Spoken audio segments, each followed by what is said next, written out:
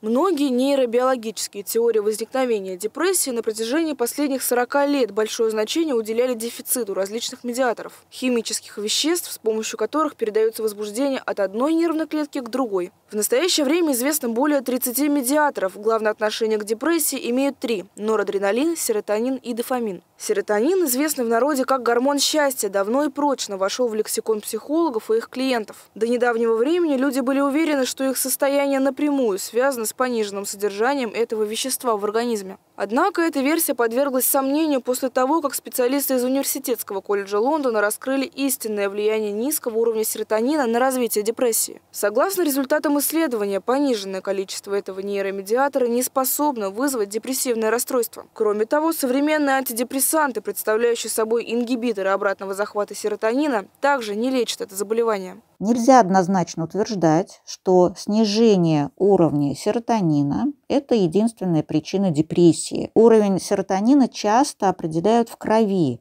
но надо учесть, что основной источник серотонина а, в нашем организме – это клетки в желудочно-кишечном тракте, то есть именно на периферии производится огромное количество серотонина. Невозможно судить об уровне серотонина в мозге по его концентрации в плазме крови.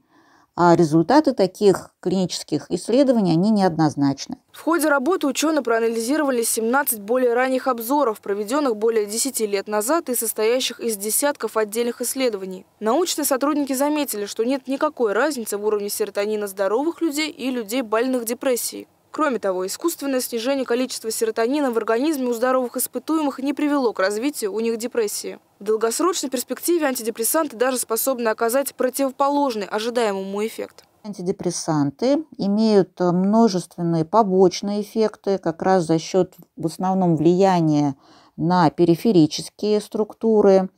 И при длительном использовании может развиться так называемый серотониновый синдром – а, то есть в результате а, значительного повышения уровня серотонина в мозге это приводит к повышению возбудимости, к тревожности, к двигательным нарушениям, а также вегетативным синдромам. Это и боли в животе, диспепсия, а также тахикардия.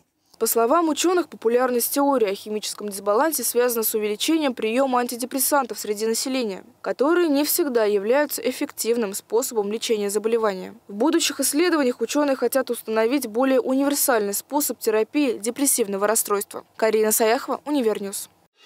Thank you